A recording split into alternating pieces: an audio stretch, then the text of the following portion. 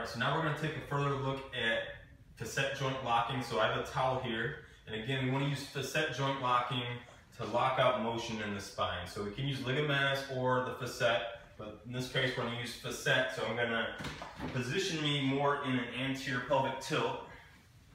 So the way, I got a small towel here, so you can obviously probably do something a little bigger, but what that would do is try to put you know my lower segments of my lumbar spine in a more hyperextended position, which I may want in certain cases.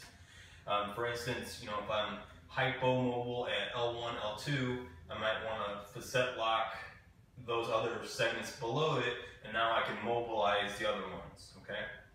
The other way I can do it is I may not want certain motion at the spine in the frontal or transverse plane, so I can take a towel and position it above one side of the cheek.